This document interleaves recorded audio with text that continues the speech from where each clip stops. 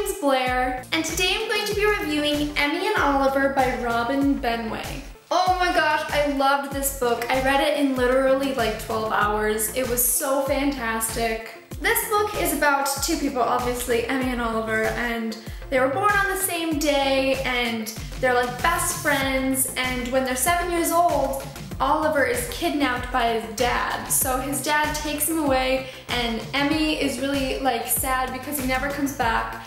And 10 years later, Oliver comes back and they have to pick up where they left off. And it's really, really amazing. I really, really enjoyed it.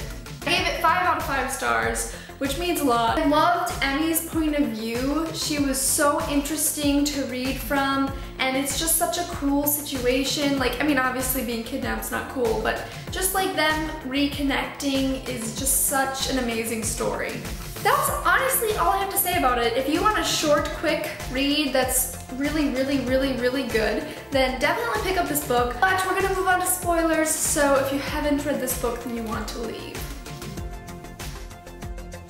I really, really liked how Emmy surfed. Even better that Oliver like flirted with her when they were surfing. I just thought that was adorable. When he first gets home and Emmy's like so excited, I mean your best friend's back after 10 years. I mean I would be so excited.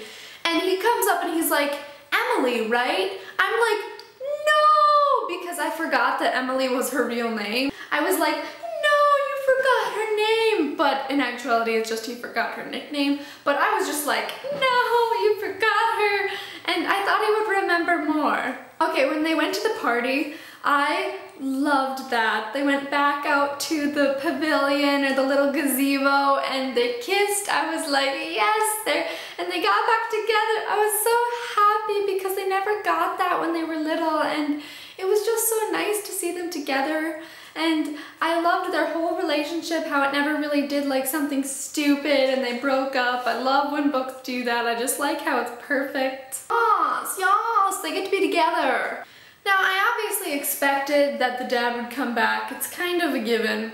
And I really liked how Robin wrote it. Like, Oliver was able to get closure from his dad with their whole meeting up. And I liked how he called the police himself. It just, it made like, he was a man about it, and I, I really liked that part. And of course, I just love Emmy and Oliver. I, I love them both. I Like, I wasn't annoyed by them. I, I loved their characters.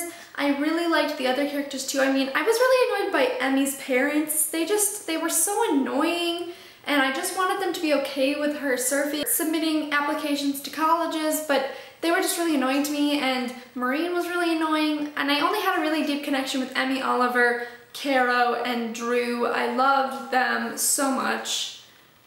But yeah, that's all I have to say about Emmy and Oliver. I definitely recommend it. It is so, so good. If you agree with me or disagree with me, please comment below because I want to know your guys' feels. Thank you guys so much for watching. Make sure to like, comment, and subscribe, and I'll see you guys next time.